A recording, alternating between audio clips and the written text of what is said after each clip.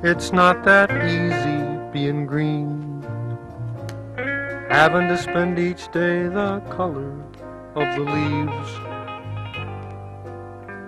When I think it could be nicer being red or yellow or gold or something much more colorful like that. It's not that easy being green.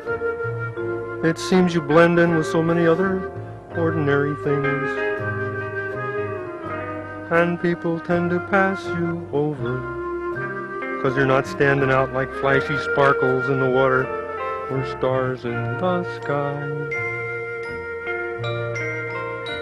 But green's the color of spring. And green can be cool and friendly like.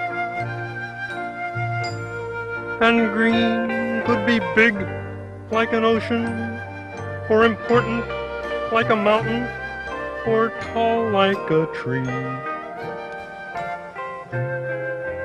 When green is all there is to be, it could make you wonder why, but why? why